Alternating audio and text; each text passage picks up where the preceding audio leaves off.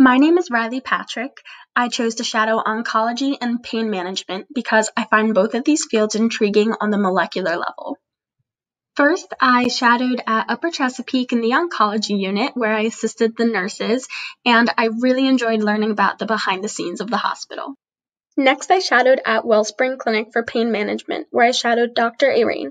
Here, I was able to have more patient interaction, which I enjoyed. My innovation is an at-home hormone imbalance test for cancer patients experiencing chronic pain. It is a quick and easy way to reduce or even eliminate the need for opioids. In the fall, I will be attending the University of Pittsburgh in the School of Computing and Information. Here, I will be studying bioinformatics.